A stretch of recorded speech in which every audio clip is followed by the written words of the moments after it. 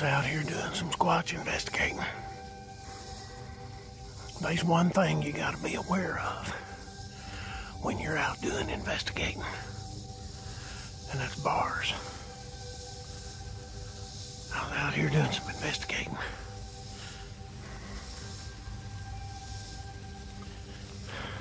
And I run into a bar. Now, the experts say that if you run into a bar,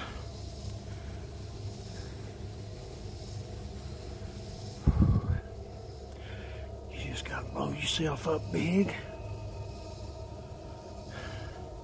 and make a loud noise and it'll scare them off. I reckon that's what I'm gonna try. All right, you with me? Here we go.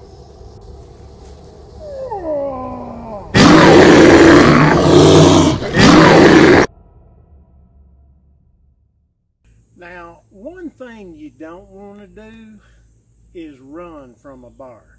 I'm speaking strictly from experience here. He will catch you. Now, this week's episode, we're going to talk about knots and cordage and knot tying. Now, what do you think of when you think of a knot? Well, you probably think of this right here. Now, I got a little paracord here.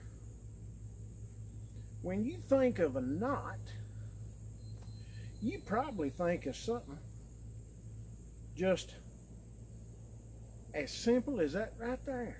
But you know, when you put a load on that, you know, when you're dragging something, tying something up, hanging your hammock, for example, like we did in the uh, uh, uh, cover episode, that knot gets tight, you can't get it undone.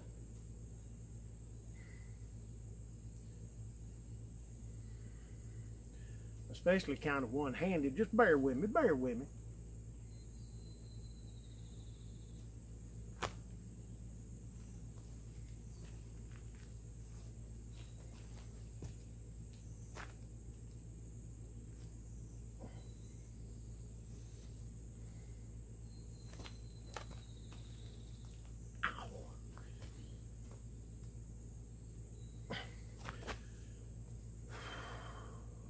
Well, folks, it's kind of hard to do a video when you down to might near one hand. I'm going to hold off for a little while, do a little healing, and then I'll be back. So, uh, I'll see you.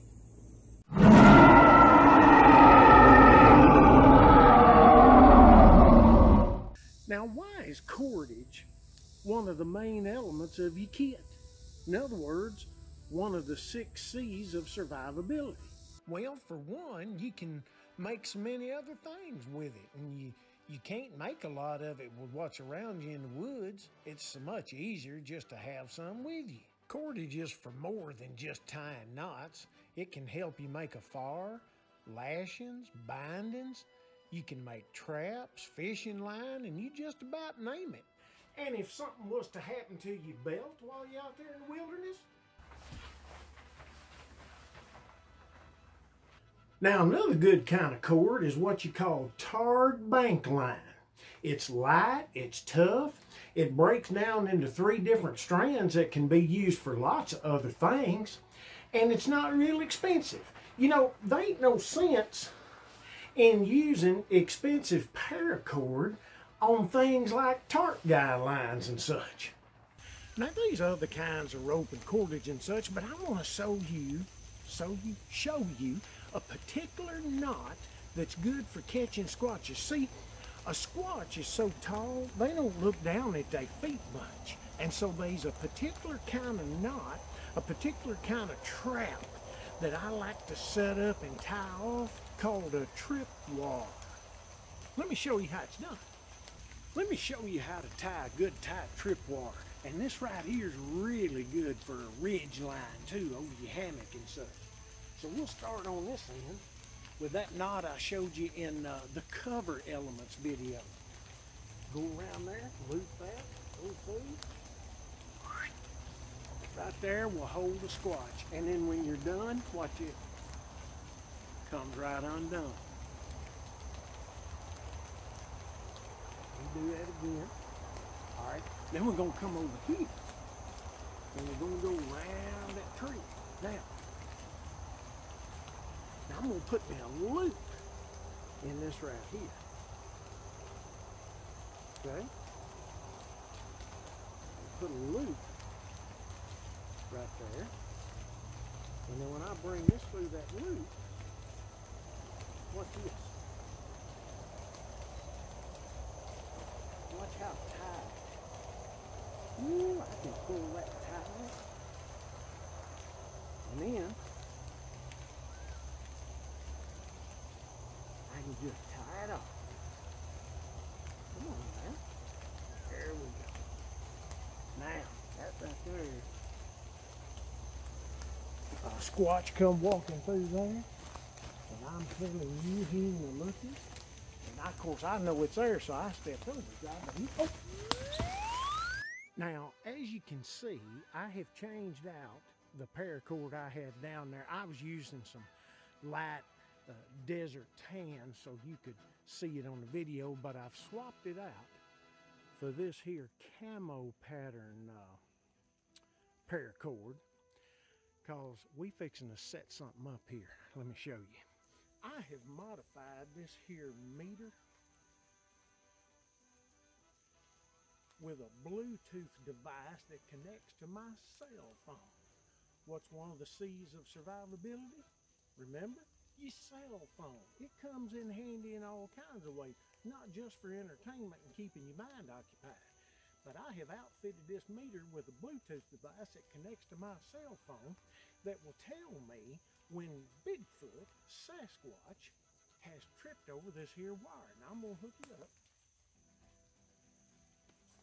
Now, when he trips over that wire and that thing goes off, it's going to show up on my cell phone.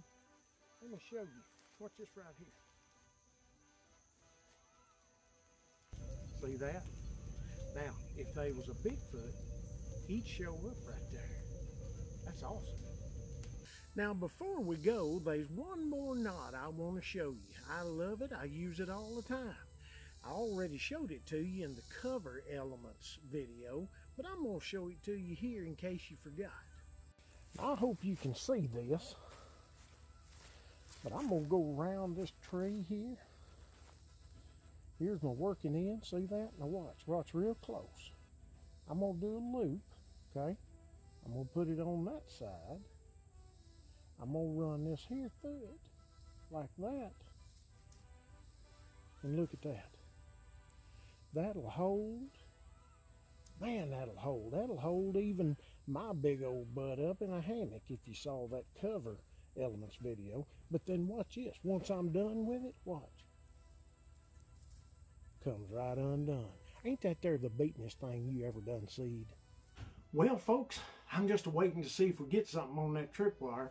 You know, I sure do appreciate y'all uh, joining me on this episode of the Squatch Watch we had a pretty good time. You know, there's all kinds of good YouTube videos where you can get a good close up of some of the knots uh, that I showed on this here video.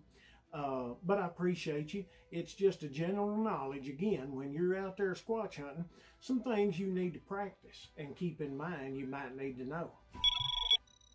Oh, looky here. Lee, we got us a squatch.